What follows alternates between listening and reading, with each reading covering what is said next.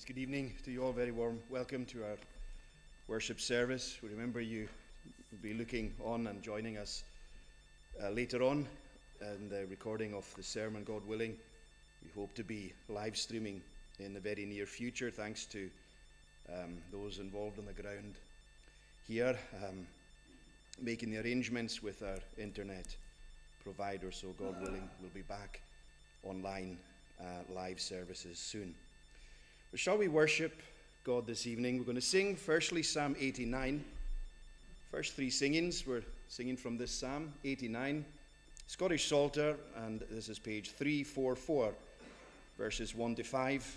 89 verses 1 to 5. It's often thought of or known as a covenant psalm where God makes amazing promises to King David. Back in the book of Samuel, we're going to sing verses 1 to 5 God's mercies I will ever sing. And with my mouth I shall thy faithfulness make to be known to generations all. For mercy shall be built, said I, forever to endure. Thy faithfulness, even in the heavens, thou wilt establish sure. Let's sing verses 1 to 5. Psalm 89 God's mercies I will ever sing. God's mercies I will ever sing, and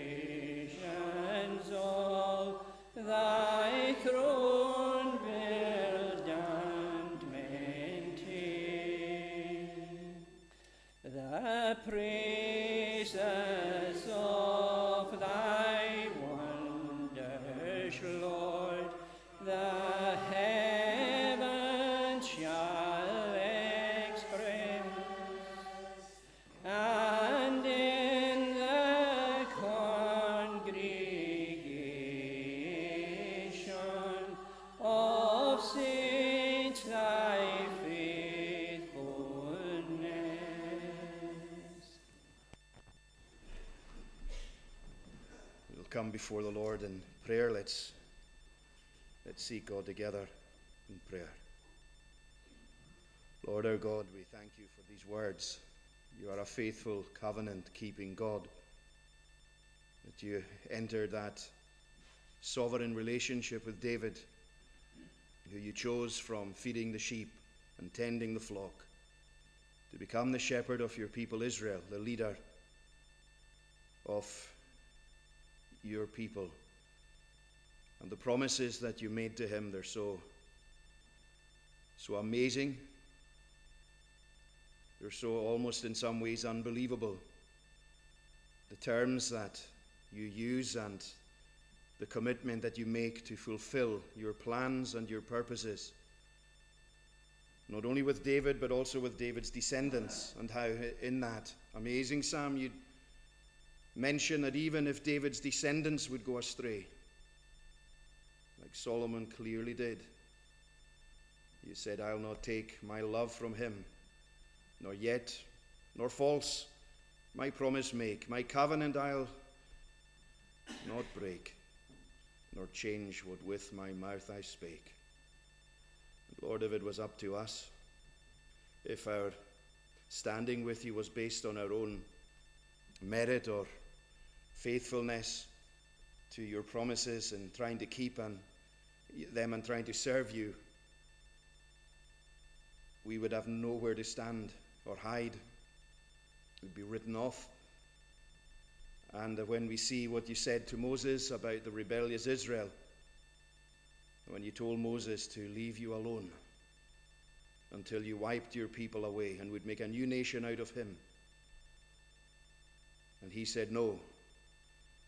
And you were saying that to test, no doubt, and to express to Moses your indignation and anger that these people that you had chosen, those whom you had brought out of Egypt through the wilderness after the Red Sea, miracles, and then they came to Mount Sinai, and where Moses was with you on the mountain, and you were so very clearly, and like Hebrews 12 describes, the very tangible, audible, and visual, sensory realities of your presence at Mount Sinai. We're told that Moses said, though we don't read it in Exodus, we read there in Hebrews, Moses said, I exceedingly fear and quake. And for all of that, the symbolism, the obvious symbolism of your presence and power, where the whole earth round Sinai, the land was shaking. Then at God's presence shook the earth. Then drops from heaven fell. This Sinai shook before the Lord, the God of Israel. But at the foot of the mountain, the Israelites, your people, they rebelled. And they got so impatient. And they got so impatient with you because they got impatient with Moses, who'd been on the mountain receiving that amazing communication from you and receiving the law, the terms of the covenant that you would make with your people. That if they kept these terms and obeyed your laws, they would be blessed. And if they failed, what would happen is they would lose the land they were about to inherit and they would be taken into another land that wasn't theirs. And so the promises were later so clearly fulfilled with the downfall of Jerusalem, the end of Second Kings, and the exile that we read of, the taking away of your people to Babylon under the Babylonian Empire. Lord, you haven't in any way not kept your promises. Some people might have complained or looked on and thought that the exile was indicative of the fact that you had abandoned your people. But Daniel, your servant, he understood and he experienced the blessing and the subsequent prayer that he had when he read in your servant Jeremiah's writings that you had said the exile would be for 70 years. And so he prayed. And amazingly, with the moving of sovereigns and the kingdoms existing at the time, from the Babylonians to the Medo Persians, we read of a great Cyrus as well in Isaiah and other places, one who you call your anointed and your chosen, who would go before you. And you said these many years before he was even born that he would serve you though he didn't even know you. What an encouragement. And a challenge to our faith and our expectations. When you are able to accomplish, as we see, you're able to do anything, but when you, we see that you have chosen to accomplish and fulfill your promises to your people in sending them deliverance through those who aren't your people at all, but are so fulfilling your eternal purpose and plan, the terms of your covenant, that it's as though they know you and are obeying you.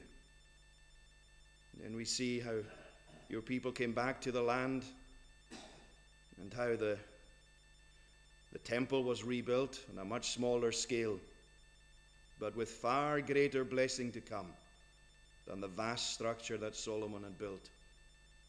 And the walls of Jerusalem then were rebuilt, and your people adopted a, a new beginning. And you said to them that the glory of the latter glory, the glory of the latter house, the second house, the temple, would be greater. And so it was, especially when your son came. And when John said, We have seen his glory. The glory is of the only begotten of the Father, full of grace and truth. And not only that, as the wonder and the admiration and the adoration of seeing such a gracious, such a loving Savior, but to, as John goes on to say, and of his fullness we have received grace upon grace. Like the waves of the sea, Lord, coming over us constantly, supplying our needs, sustaining us.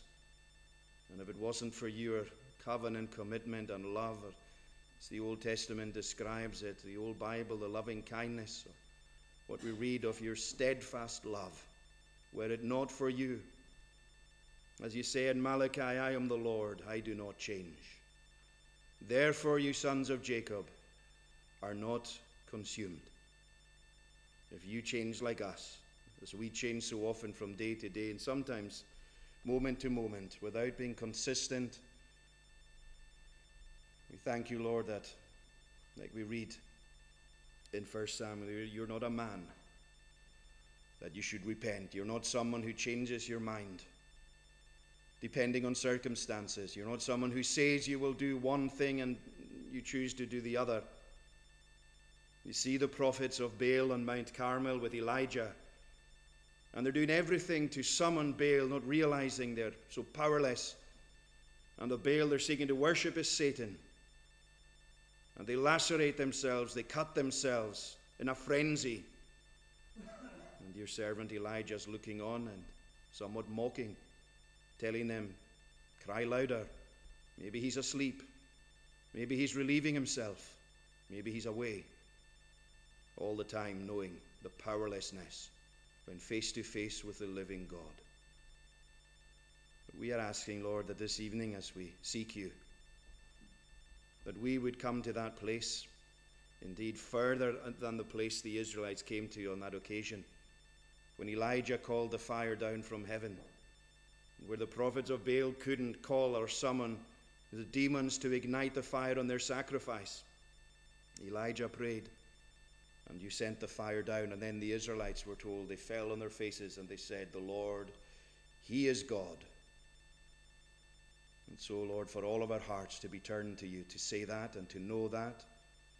And like John said at the end of his gospel, we've written these things so that you may know that Jesus is the Christ.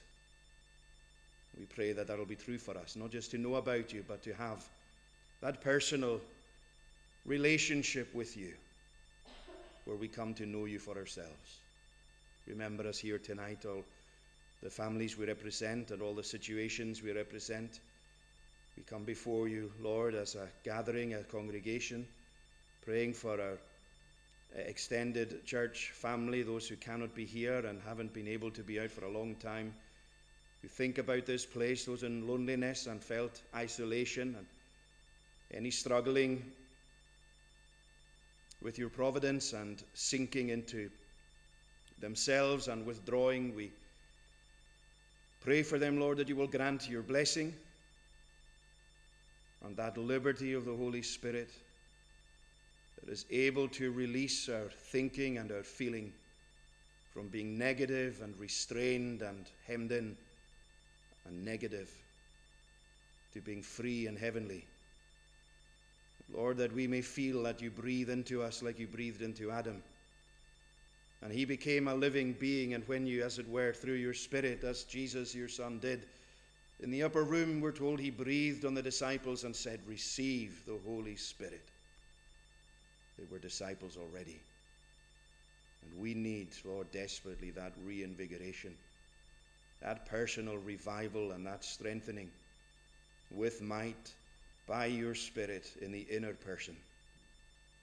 Even as we meet just now, we know this to be so true as we often say it and think of it more than we say it, but you have said in John 15 about the vine and the branches that in our dependence on you and our need of you, apart from you, without you, we can do nothing. And so grant, Lord, the strength, the blessing to be engaged in and involved in this act of worship. That you will be so near and real to us that we are aware of your presence and seeking to worship the God who is in our midst. And to be able to, as the Philippians were reminded, that the Christian is the th- belonging to the true circumcision. The heart has been changed. And he says there to them, he says, We worship God in the Spirit. Lord, that we know this tonight that we know this in our daily lives. That divine dynamic and power that changes people through Acts. I was about to read part of that book of how even Christians can be changed and to be filled with, as the chapter ends, filled with joy and filled with the Holy Spirit. May we know something of this even now. That heavenly exhilaration living in a fallen world that is filled with darkness and death and disintegration and decay and divisions among nations and within nations and the false dream of a multicultural society and integration of people of especially where people come with a, a set religious ideology that has nothing but global domination as its goal and our leaders foolishly think. And we know of some, uh, not well, it wasn't prophets, but politicians even in the past who, who weren't Christians, but may even have somewhat prophesied without knowing it. That such a mixture of peoples and religions will never work. Not that we cannot coexist in one way, but integration of a certain religion will involve that religion having to be abandoned. The rise, Lord, of Islam, and when our government will talk about moderate and militant, they don't know what they're saying. And we love our Muslim friends. Some will have colleagues, neighbors, and how a joy to welcome, Lord, those who need new homes and to be welcoming to families who are in need and those we think of maybe who've left, fled from Syria or other places to find a new beginning. What, a, what a, a, an amazing thing for people to feel at home in that way. But where there's an organized and a determined flood of people coming in who are economic, uh, seeking that economic stability and even in their religion look upon the government state handouts as being what they deserve in their religion as the, the infidel or the, or the ungodly paying them to take over their land. Sounds maybe so extreme. But Lord, as we look into your word and consider these things, we pray for wisdom and uh, seek your blessing upon our people and upon our nation and upon the continent we're part of and upon the whole world. Praying, Lord, that your great power and glory will be revealed, that the nations will know you in an even greater way. And you are speaking to the world. You always have been, and you always will, but in ways, sometimes the problem, always really, the problem is always with us. It's not that you aren't speaking, it's that we're not listening and your kindness and your grace and your patience and long suffering by not intervening or dealing with the world as it deserves. Your patience came to that came to that place of not that you were ever impatient or that your patience ran out. We don't mean that, but with Sodom and Gomorrah, the time came, and you spoke to Abraham in such human terms that you and the two angels came down from heaven to see whether the cry of the city was altogether as it sounded. You'd given them so long, but the time came for the judgment. Lord, to think of the pride and the arrogance and the rainbow flags, the defiance of the colors that you have put in that glorious symbol and reminder to us that can revive and refresh us to see the rainbow in the sky. And sometimes when we've maybe struggled to find you in prayer or in the reading of your word, and there the rainbow speaks just about the exact same reality that we are singing about in Psalm 89. Because you said there to Noah that you will bring your bow into the cloud, uh, into the sky. You, the bow and the cloud will be in the sky, and you will see it, and you will remember your covenant. And so, Lord, the thought that when we look at the rainbow, you're looking at it too. And it's a reminder to us of your faithfulness.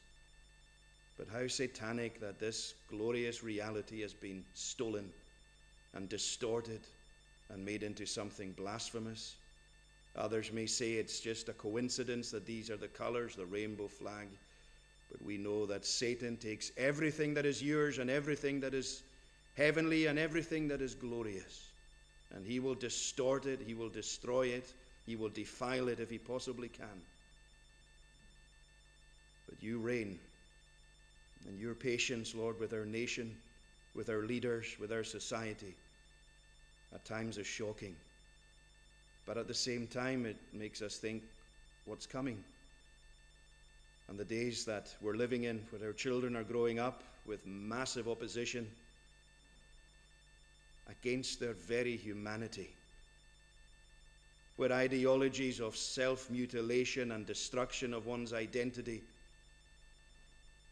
where we rebel against who you've made us, and we're doing exactly the thing, exactly the thing, when Paul describes that we are, from the Old Testament, that we are the clay and you are the potter. The audacity of the clay saying to the potter, What have you made? What are you doing? What have you done? The blasphemy, Lord, of challenging you.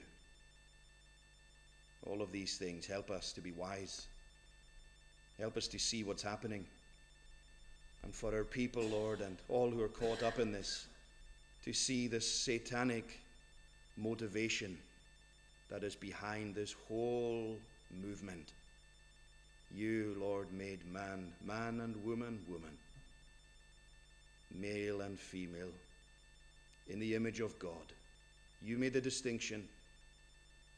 And now, at the very essence of that distinction in creation, people are trying to force children and parents being, in some places anyway, forced, or the attempt is to force them into silence and submission and not allowed to say this or that, or being forced to call someone by what isn't true. Effectively, we're being challenged to tell lies that a man is a woman or that a woman is a man when it's never possible, no matter what. But help us as your people. You know, Lord, we pray for those who are caught up and who are confused about their own identities and how many people, and we've seen of some who have lived to regret terribly the damage they've done to themselves and the impossibility of undoing all of this transition and physical things they've gone through. But we do pray, Lord, we pray for those who are in need. We pray for those who are confused and pray for your word to bring that light and clarity. So help us. May we have the opportunity. So we don't mean to condemn or judge or criticize, not that, but the ideology and the spirit behind it. That we'd be seeing this and that we would realize it's a spiritual reality, not simply a man made ideology, but a very dark religion. As we meet tonight around your word, Lord, we're going to meet someone who was a magician and someone who did everything to try and prevent the power of the gospel coming to Cyprus and coming to someone who was important in leadership in that place. But the blindness came down, and that man was unable to see. You've vindicated your name and glory and didn't let anyone stop you. And we pray, Lord, to see this in our time, that we may be used by you, whatever small way you may choose, even in this, not even as though it's a small way, don't mean that, but sometimes it can be a, a restlessness and wishing to have the ability to do something and feeling so uh, powerless, but it is our calling, it is our privilege to pray and to reach to the God of heaven and to pray for your intervention. And as in Isaiah 64, that you would rend the heavens and come down. So, Lord, we look to you in our need. We don't look at anyone and from a perspective of felt superiority or like the Pharisee in any shape or form. We confess our sins, Lord, and if you were to mark them against us, we couldn't stand. We couldn't stand. And your forgiveness is astonishing.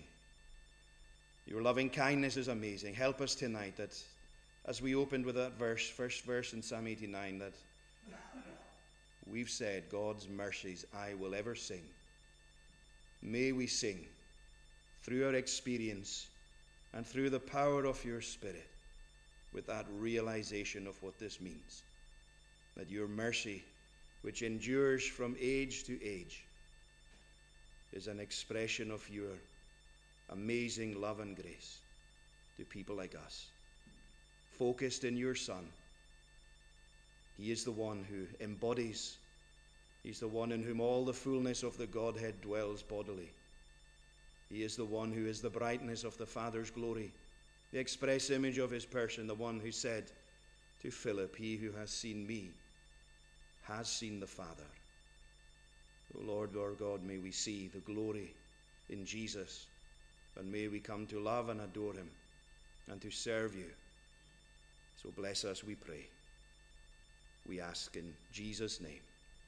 Amen. Let's continue in this same Psalm, Psalm 89, and uh, this time verse 13. It's Scottish Psalter once again, 89. It's page 345, Psalm 89 and verse 13.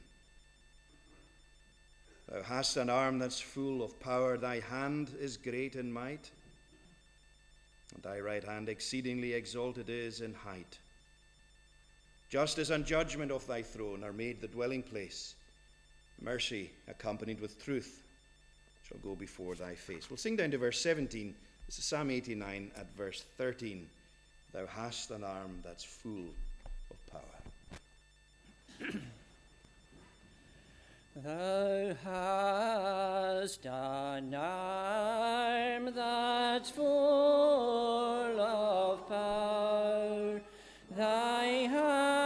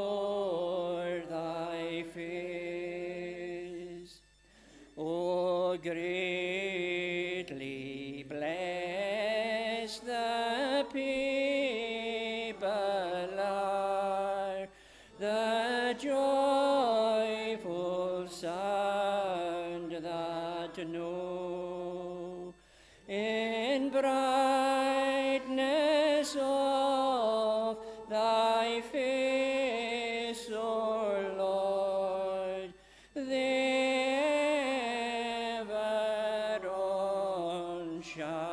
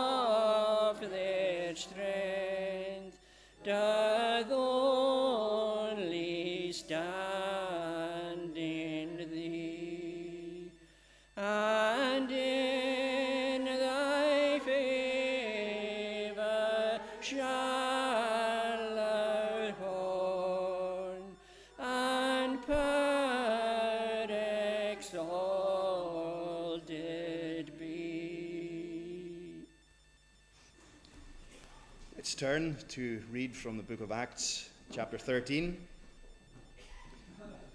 Acts chapter 13. And we can read the whole chapter together.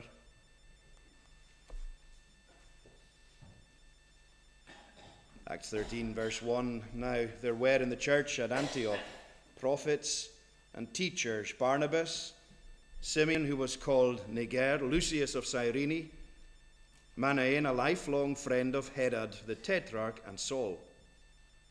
And while they were worshipping the Lord and fasting, the Holy Spirit said, Set apart for me Barnabas and Saul for the work to which I have called them. Then, after fasting and praying, they laid their hands on them and sent them off. So, being sent out by the Holy Spirit, they went down to Seleucia. From there, they sailed to Cyprus. When they arrived at Salamis, they proclaimed the word of God in the synagogues of the Jews, and they had John to assist them. When they had gone through the whole island as far as Paphos, they came upon a certain magician, a Jewish false prophet named Bar Jesus. He was with the proconsul Sergius Paulus, a man of intelligence, who summoned Barnabas and Saul and sought to hear the word of God. But Elymas the magician, for that's the meaning of his name, opposed them, seeking to turn the proconsul away from the faith.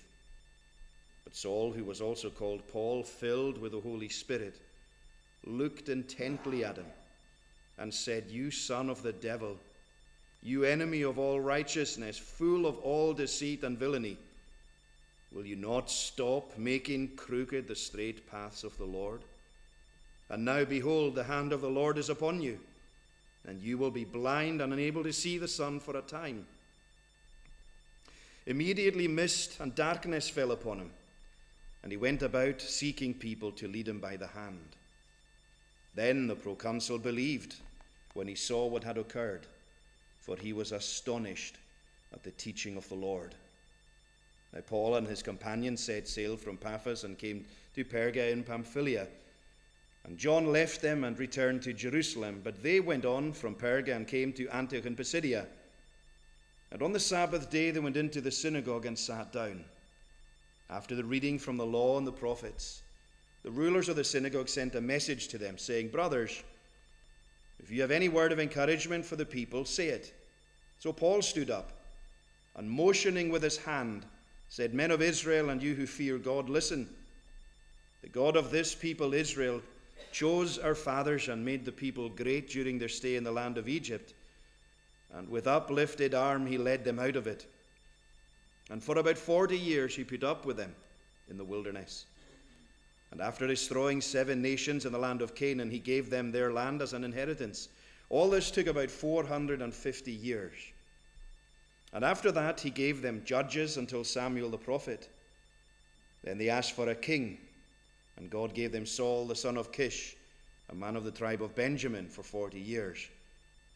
And when he had removed him, he raised up David to be their king, of whom he testified, and said, I have found in David the son of Jesse a man after my heart, who will do all my will. Of this man's offspring, God has promised to Israel a Saviour, Jesus, as he promised. Before his coming, John had proclaimed a baptism of repentance to all the people of Israel. And as John was finishing his course, he said, What do you suppose that I am? I am not he. No, but behold, after me one is coming, the sandals of whose feet I am not worthy to untie. Brothers, sons of the family of Abraham, and those among you who fear God, to us has been sent the message of this salvation. For those who live in Jerusalem and the rulers, because they do not recognize him or understand the utterances of the prophets, which are read every Sabbath, fulfill them by condemning him. And though they found in him no guilt worthy of death, they asked Pilate to have him executed. And when they had carried out all that was written of him, they took him down from the tree and laid him in a tomb.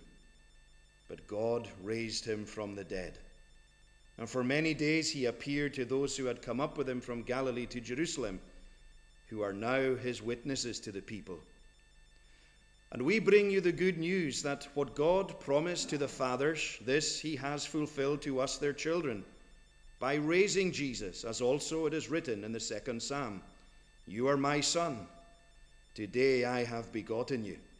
And as for the fact that he raised him from the dead, no more to return to corruption, he has spoken in this way I will give you the holy and sure blessings of David. Therefore, he says also in another psalm, You will not let your Holy One see corruption. For David, after he had served the purpose of God in his own generation, fell asleep and was laid with his fathers and saw corruption. But he whom God raised up did not see corruption. Let it be known to you, therefore, brothers, that through this man forgiveness of sins is proclaimed to you, and by him everyone who believes is freed from everything from which you could not be freed by the law of Moses. Beware, therefore, lest what is said in the prophets should come about. Look, you scoffers, be astounded and perish. For I'm doing a work in your days, a work that you will not believe, even if one tells it to you. As they went out, the people begged that these things might be told them the next Sabbath. And after the meeting of the synagogue broke up, many Jews and devout converts to Judaism followed Paul and Barnabas, who, as they spoke with them, urged them to continue in the grace of God. The next Sabbath, almost the whole city gathered to hear the word of the Lord. But when the Jews saw the crowds, they were filled with jealousy, began to contradict what was spoken by Paul, reviling him. Paul and Barnabas spoke out boldly, saying, It was necessary that the word of God be spoken first to you.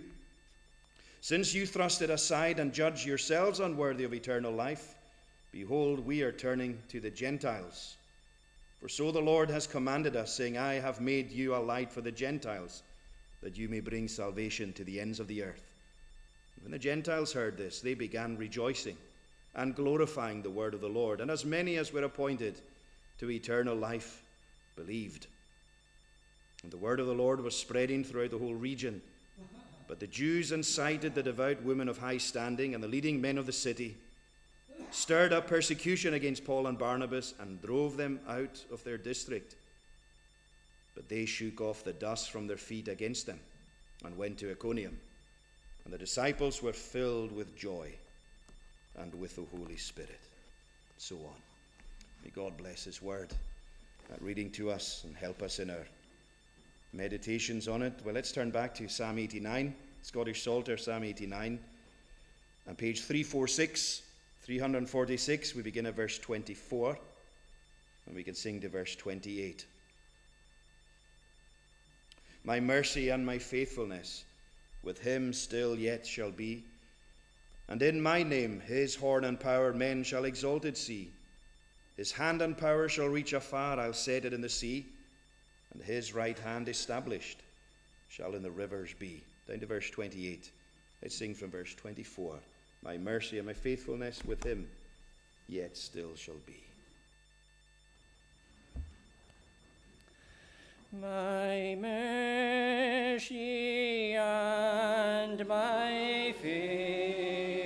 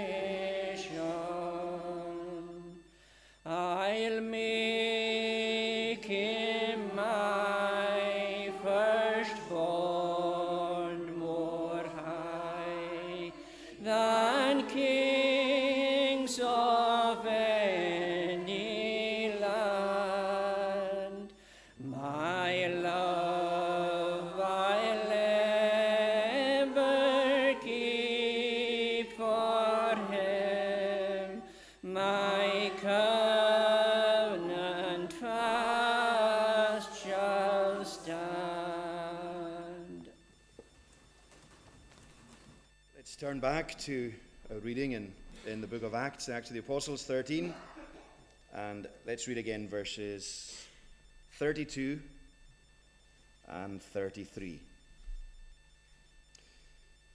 And we bring you the good news that what God promised to the fathers, this he has fulfilled to us, their children, by raising Jesus, as also it is written in the second psalm You are my son. Today I have begotten you. One of the things that really stands out in the book of Acts is the sovereignty of the Holy Spirit. It's amazing to think, to realize that we cannot, like Jesus said in John 3, see him. The work of the Spirit, he says, is very much like the wind which comes from one place and goes to another. And with our eyes, we cannot actually see the wind. We can see where it's present by what its effects are. Jesus says, So is everyone who is born of the Spirit. There is mystery. And there's mystery because there's sovereignty. And by sovereignty, it is God's rule over everything and over everyone and over every situation. And also in the church. It's a challenge to us. You think of challenge, you're so often thinking of that word today, and in the, in the sense of being face to face, maybe with the teaching of, of the Bible and God's Word and having to confront ourselves with it. Um, not so much to change our maybe beliefs if, if they're out of, out of sync with what the Bible is saying, but to embrace these teachings as having an application for our lives. Re- reading in the book of Acts, should we be looking back at how the church was in its glorious days and say to ourselves, well, that was because it was, it was wonderful, glorious, amazing? Or should, as others have said, maybe it's the other extreme, more along the right lines for sure, that the book of Acts is, well, some would say it's like a blueprint for how the church should look in every age and generation. How should worship look? How should prayer look? How should evangelism and outreach look? What does revival look like? What does persecution look like? What does conversion look like? All of these many different things. Well, we look in Acts, the book of Acts, and we see these very things. But it is filled with mystery. You see in verse uh, the beginning of chapter 13, church in Antioch. There's three locations referred to in this chapter. The first is is Antioch, and uh, again to visualize what's happening, it's very difficult with words unless, um, which may, maybe some some are of course, um, well versed as it were, or experts in, in the geography of the land. So when you hear of Antioch, and then you hear of Antioch in Pisidia later on in the chapter, you know it's not the same place. And uh, in the middle of it all, of the two places, you have the island of Cyprus. And one way to think about the first Antioch is to, I think the children can do this, you get to look at a map of the Middle East or the Bible lands or the land in Bible times. It's like Cyprus has a finger, the way its outline is, and it's pointing. You see what I mean if you have a look at it. It points towards Antioch in Syria. Just think about Syria. Everything we know about or hear about that's happened. And here, this situation in the beginning of chapter 13, the sovereign moving of the Holy Spirit is happening in that very land. It's a thought, isn't it? That the gospel had such power and influence in some of these places before. Sometimes people look for a global awakening that will lead to every nation being converted and Christianized. People look at it in terms maybe of a, a millennium or the glory that's coming, and um, with, with different aspects to it. And, and um, That is, that, that is a hope that, that a lot of people have. But what, what, you, what you notice, I think, historically, is that the gospel moves from place to place. I don't believe God has ever said the world is going to be Christianized. Some people have an approach that involves, and it's, it's, a, it's, it's, um, it's a positive aspiration when you think of it, where some Christians who would look at the reconstruction of society top down so that all aspects of, of uh, society are Christianized and um, so the arts and the sciences and education, everything will one day be completely Christianized. It's all maybe built into that idea, but history shows us that God's dealings always with a remnant. And that He does, well, the, the, the, the glorious uh, presence of God will fill the universe one day a new heavens and a new earth where righteousness dwells. And it's there Isaiah is referring to us. The earth will be filled with the knowledge of the Lord as the waters cover the sea. What a thought. Everywhere in the whole world will be filled with the recognition of the presence and the knowledge of the Lord. He, he, we're told in Revelation, is the temple. There's no need of any location that in that environment, the presence of God being everywhere is, as it were, the temple. But what we find happening throughout history is the gospel moves from place to place. Even what we read of here when the word comes to Antioch and Pisidia, the word goes. And Paul says it's in accordance with God's plan. We're going to the Gentiles. The Jews reject it. They say, okay, we're, we're going. Not only we're going, but the, as Jesus said, they shake the dust off their feet. It's like we're done. Now that sounds so serious, and, and it is. And, and when you take history and, and God's dealings in, in, in, the past and see it maybe in that light, He moves from place to place. You think, well, why, are, why, uh, you know, why have things changed where we are? Why is it that other parts of the world may experience blessing when the Western world is declining massively, rapidly, like on a roller coaster? The church and Christians can feel so powerless. And when people in power and in influence and authority are, are almost becoming the thought police, and the police are wasting resources on what you say on Twitter and all of that kind of stuff. Not allowed to say or think anything anymore unless you're told. And even when it comes to pronouns and even when it comes to whatever you want to say, we are told.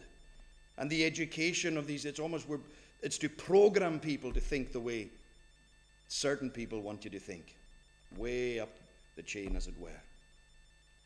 And they want people to uh, adopt a completely uh, ungodly approach to life, a bit like this. Um, what's he called? Uh, this, uh, the Jewish false prophet called Bar Jesus. His, his, his, the meaning of his name, verse 8 tells us, is Elymas, the magician. He's doing everything he can to stop. You might think of someone who's in the council, a very important person, a, a representative of the government, an MP. And there he wants to listen to the gospel. And then he's got this other person doing everything in his power to distract him and to prevent it. It's the times we might find ourselves living in. And, and like this, it's the thing, it's, it's, it's one thing for us to say things have, have, have happened like this, almost a cyclical way. We can see that in the book of Judges. There is a pattern, providential pattern. You see that God blesses the people, the people rebel, God sends judgment from an invasion from a foreign army, then the people cry and he raises a judge. Think of Samson, think of Deborah, think of Jephthah, think of these people that God uses to rescue his people. And then the cycle happens over again. It's somewhat predictable. And then we'll say, there's nothing new under the sun.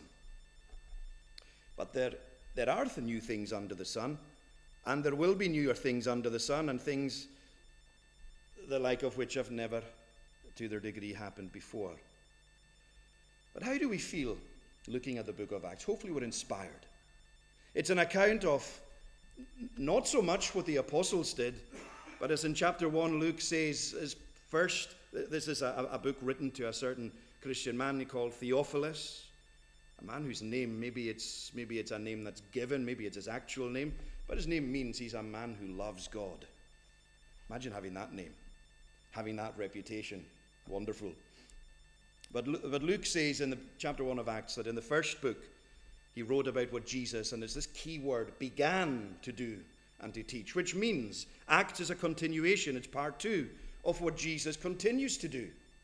But now he does it from heaven by the Holy Spirit through his apostles. So it's really the acts, the works of the Holy Spirit through the church in the world, the glorified Jesus.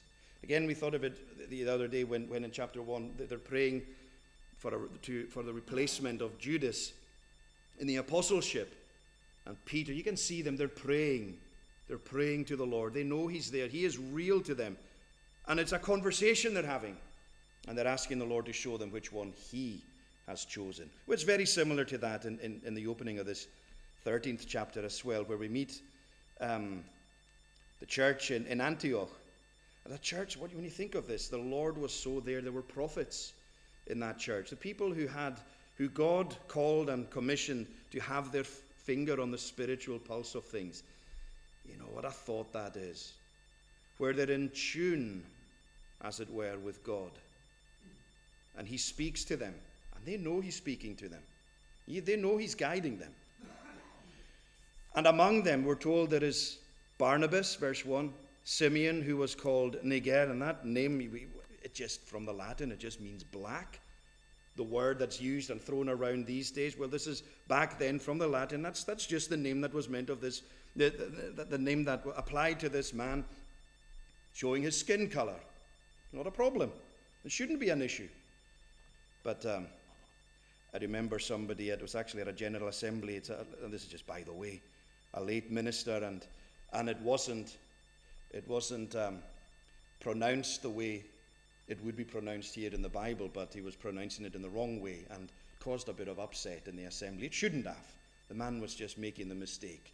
It was, as you'd say, the N word that was being pronounced instead. I mean, and it's, it's, it's neither here or there because we know what the man was meaning. And It just means the same thing. No intention was made. But anyway, there's the word. There's one of these men Barnabas, Simeon, Lucius of Cyrene, and Manaen. Notice he was a lifelong friend of Herod the Tetrarch, the man who had John the Baptist executed, and the man who Jesus stood before, silent. Imagine growing up with someone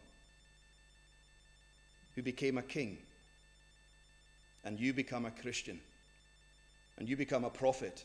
You know how it can happen? Growing up, friends, same background, same education, and go completely different ways in life. It's a wonderful thing to see that there's no one with, you know, to think of, think of Herod. Herod feared John the Baptist. Herod had an inquisitiveness. Herod Antipas, that is. He had an inquisitiveness. He heard John the Baptist gladly. We're told about Jesus. He wanted to see him do some sign. He had an inquisitiveness. Ah, that's not enough, though, is it? Because it was so self centered and the outcome was self and, and being entertained somewhat by what the Lord could do. But here is one of these prophets along with Saul. And verse 2 they're worshipping the Lord and they're fasting. Now, do they know why they're worshipping? Do they know why they're fasting? Do we know why? Well, it would seem that they're asking the Lord for the next opening in the church, the next opening for the mission of the church. What are we going to do? There isn't a scrambling together and a, a hustling together to just get the plans, get everything and the resources, and saying, We're going to do this. And by the end of this year, we'll have X amount of this, we'll have an X amount of that, we'll have planted X amount of churches. No, they're saying, Lord, what do you want us to do? Why, why do we say that? While they were worshipping, the Holy Spirit spoke to them. Amazing, isn't it? So they're listening to him, they're sensitive to his guidance and teaching. They're not coming to the Lord and saying, Lord, please. And, and there's nothing wrong in one sense doing this, and in, in other ways of thinking about our Christian lives. Some things we know what we've got to do. Our duty is obvious in terms, you think, of obedience or, or what the Lord may be, may be guiding us to do in a situation, then the scriptures will guide us. But if you're in a situation where you really don't know what to do, you'll be concerned that you do, and, and I'll be concerned that I do what the Lord wants. And in asking, there's to be an openness and a readiness to receive his guidance and his teaching. Imagine being Saul and, Bar- uh, and, and Barnabas, Paul and Barnabas. We say the Holy Spirit said, Set apart for me Barnabas and Saul for the work to which I have called them. The Lord is moving. And they keep on fasting and praying after the Lord has spoken to them. And they lay their hands on them and they send them off. The sovereignty of the Holy Spirit, that readiness to listen. Can, can we just notice that for a, for a moment in our own lives? You ever feel that sometimes? Feel is the word. Sometimes that prompting, that urging, that moving. It's not to live by, you know, coming under an impression or, or things like that. And, you know, we can get all of that wrong.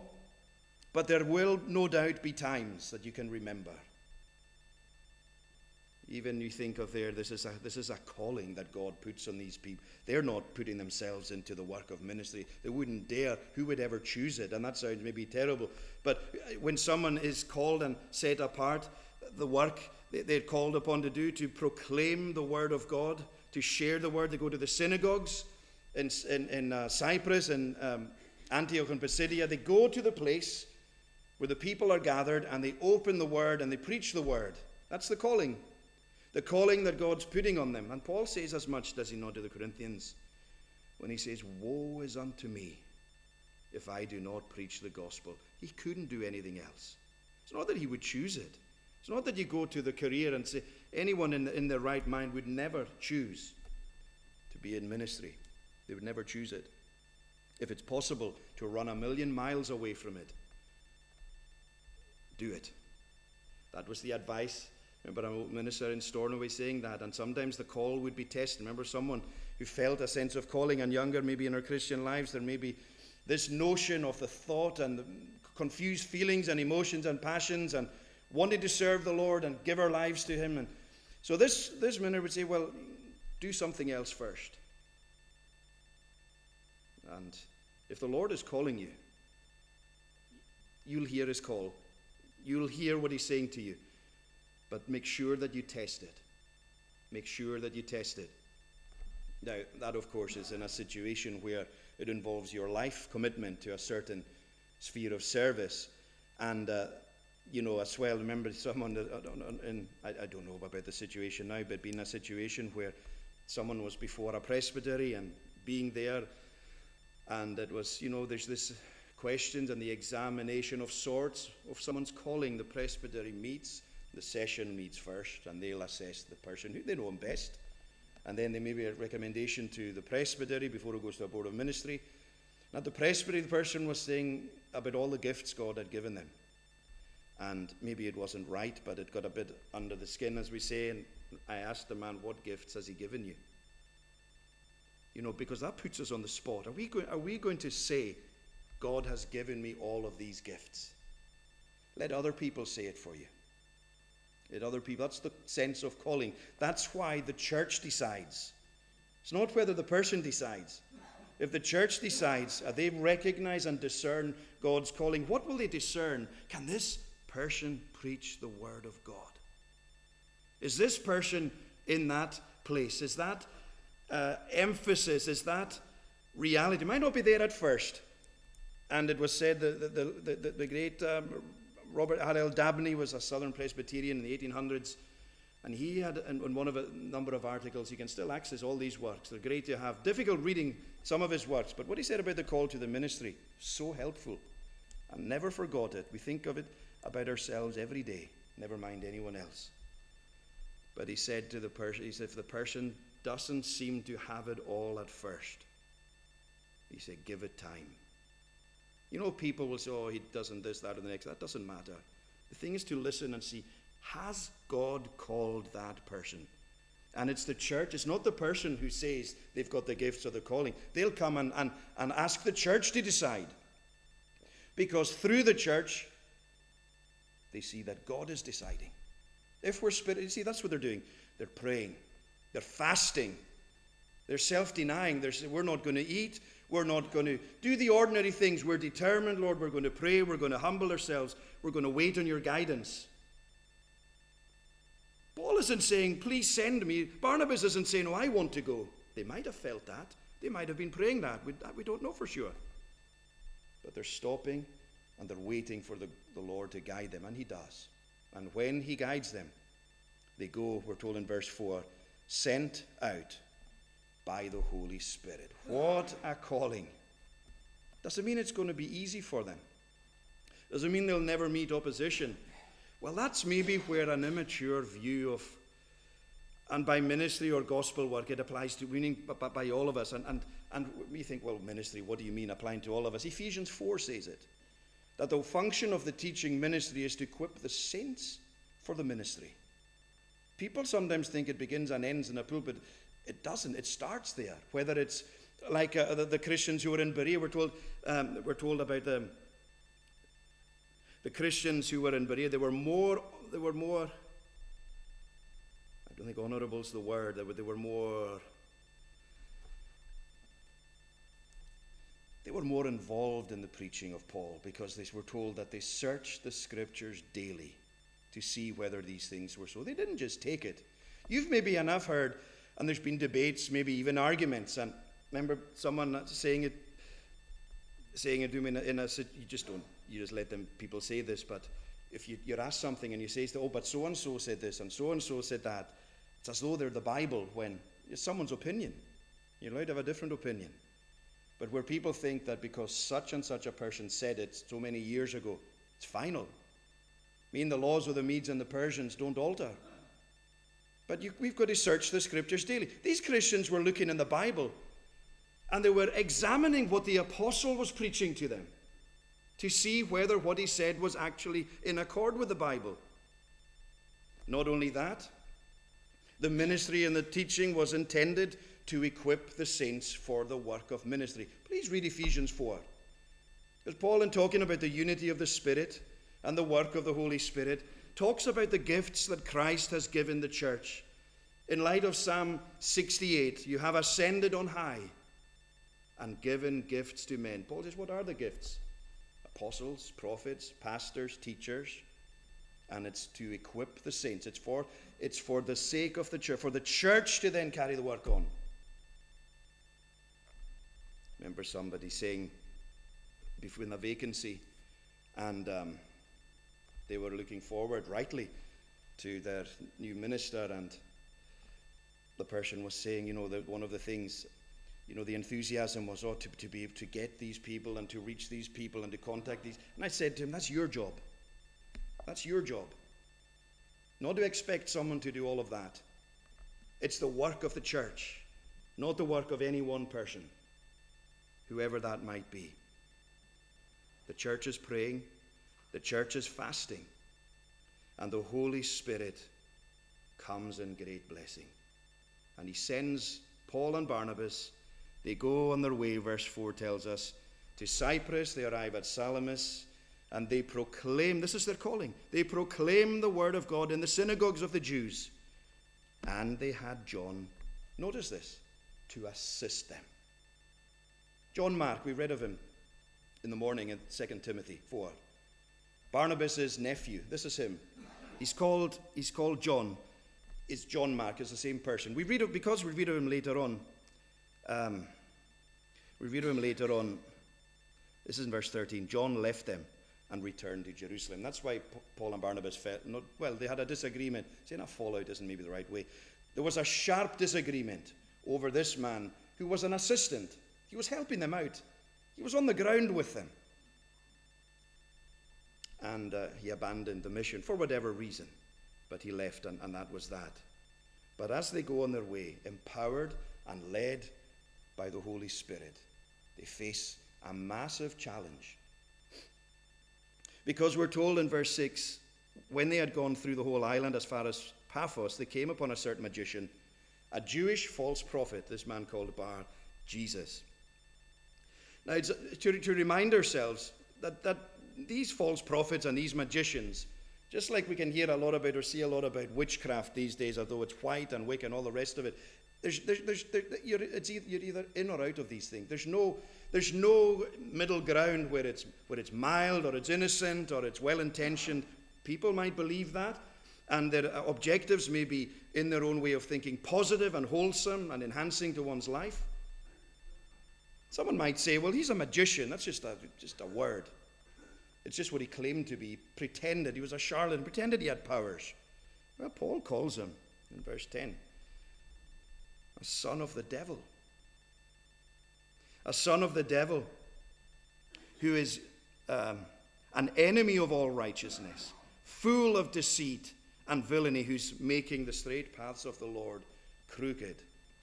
He is an agent of Satan to stop the gospel from having any influence over a certain man in the locality. An influential man, man called the proconsul, verse 7, Sergius Paulus, a man of intelligence, a man who wanted to hear and to learn more about this. And here is this man, and he's trying to stop it. And everywhere the gospel goes, everything you try and do for the Lord, you can be sure. Well, it was a minister who once said it um, that when something good comes down from above, you can be sure something bad will come up from below. While we're in this world, not that Satan has the power to stop God in any shape or form, not that, as it were, and sometimes you, see it, whether it's in, I don't know, um, some of the children's kind of films or the animations and all of that, where there's this battle between good and evil and darkness and light, and, and the outcome is uncertain. That this isn't, there isn't any chance for Satan. Any opposition he's able to accomplish, it's because he's allowed to do it for God's reasons. Oh, he tries. He tries to stop. I see, Paul knows exactly what's going on. And when one is walking in and living in the power of the Holy Spirit, there will be a discernment. There's a discernment where you can see past appearances and see what's actually going on.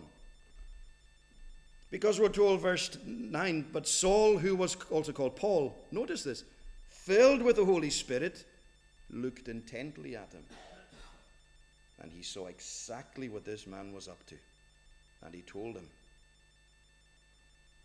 Not only that, but the Lord's judgment came on him.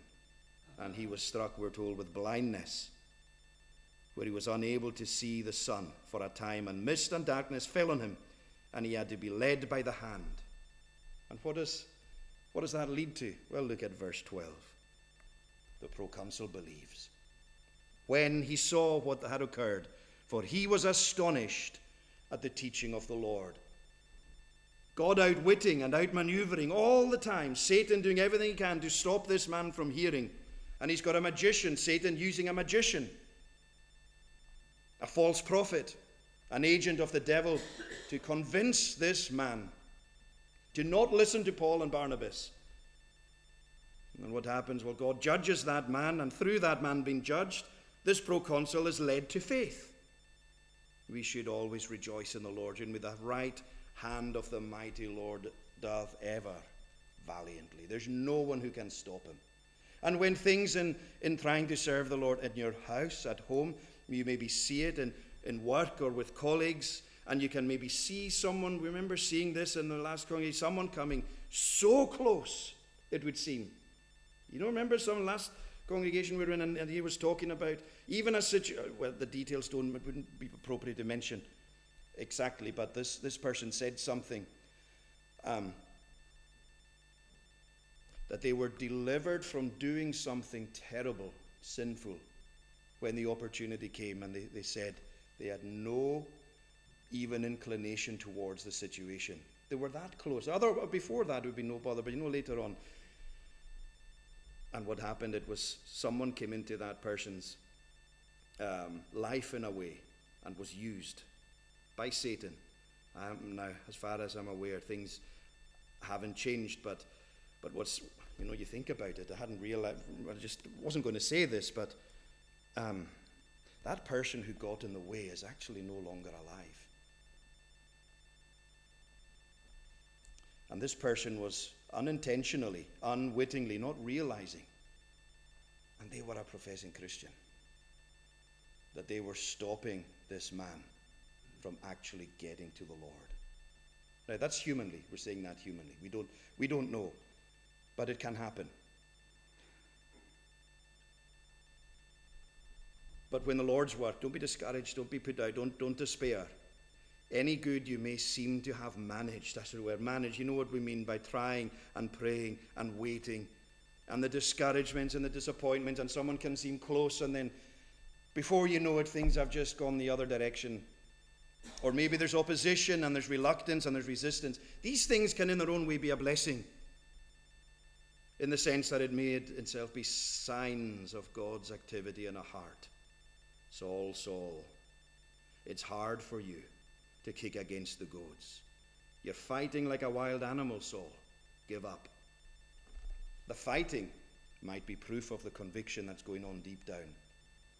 You confused maybe about yourself in that kind of way? You got a heart resistance maybe to the gospel?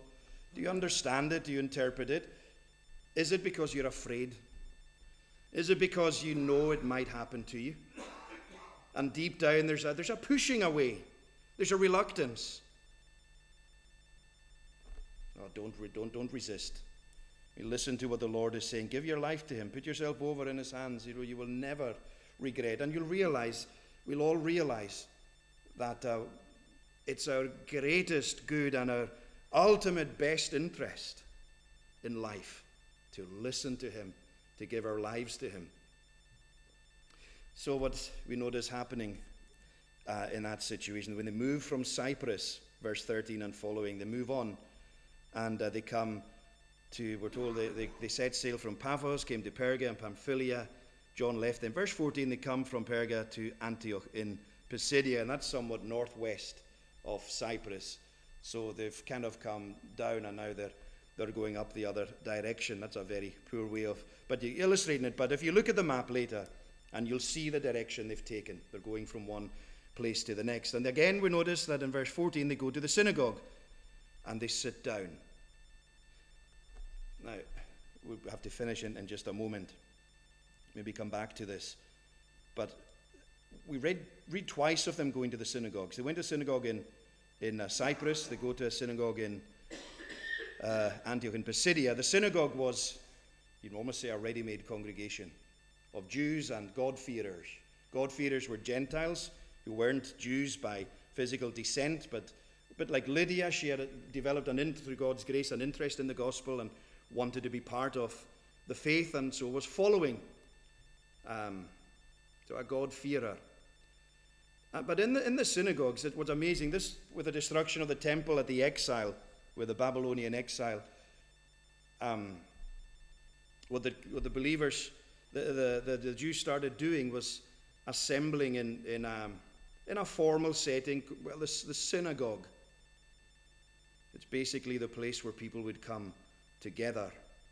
And being together, the, the word would be read, prayers would be offered, psalms would be sung. It's basically what the church of the New Testament is modeled on, patterned by. We pray, we sing, we read, the word is expounded. It's the exact same thing, except with the Jews, it was more an exposition of the law or the prophets, and, and they were missing the whole point. And so the, Paul and his companions, when they were going throughout the world, they were going to the synagogues first, to the Jew first, and also to the Greek, the word says. And so the ministry extended to God's people first, and then it extended to the Gentile world. the end of this chapter, we'll have to come back to that uh, afterwards. But what you see is verse 15 after the reading of the, after the reading of from the law and the prophets, the rulers of the synagogue sent a message to them saying, Brothers, if you have any word of encouragement for the people, say it. And they didn't have a clue what they were about to hear. Because Paul is going to, we're told, uh, verse 16, he stood up, motioning with his hand, and then he explains, not states, but he explains their history. And how the history is leading up and culminating in the coming of Christ. And it, that coming of Christ will culminate for the present uh, time with the resurrection and the ascension of Christ. Isn't that what we read? Where he comes to conclude uh, and, and apply the sermon, he's saying that um, what, what God had promised to the fathers, he has fulfilled to us, their children in that he has raised, where is it, the verse 30, verse 32, and we bring you the good news that what God promised to the fathers, this he has fulfilled to us, their children, by raising Jesus. That's a promise. By raising Jesus, as also it is written in the second psalm. Now we have to leave things at this point. We are hoping to go further and, and to try to think of that reference to the second psalm. There's also Psalm 16 and elsewhere referred to. God willing, we'll, we'll come back to that um, next time. Just to notice, to think, and to remember, and to be encouraged, and to be prayerful over the sovereignty of the Holy Spirit. His moving, people and hearts and lives, and God's control over situations where things can seem to be against and, and things can appear to be hindering, but it's that amazing word of God before us. Who can be against us? Overpowered, we might feel, and with, uh, so vulnerable with a satanic onslaught. And you might find it through people, you might find it through situations, and you might, you know, feel that, that it's, and it is beyond your strength. But the battle isn't yours or mine, it's the Lord's. And it's to find that place of resting in Him and in His power and in His blessing. And to rejoice in the meantime that He is in control over everyone and He's moving. But as we're praying, are we not, for that moving of His power to become our experience? God granted to us. Let's pray. Let's pray. Lord our God, we are so aware of our need. And we thank you that you've given us your word to address and to reassure and to promise us in our need. That while the psalmist said, I'm poor and needy, yet the Lord of me a care doth take.